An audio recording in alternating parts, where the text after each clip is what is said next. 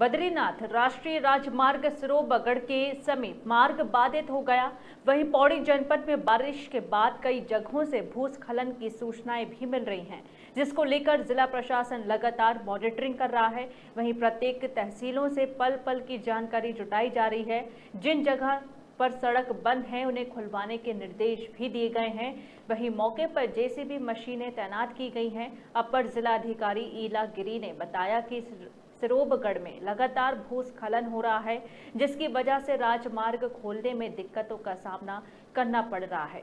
मार्ग को छाती खाल रुद्रप्रयाग से डाइवर्ट किया गया है। कोशिश की जा रही है कि जल्द से जल्द राजमार्ग को सुचारू किया जाए। पौड़ी से भगवान सिंह की रिपोर्ट।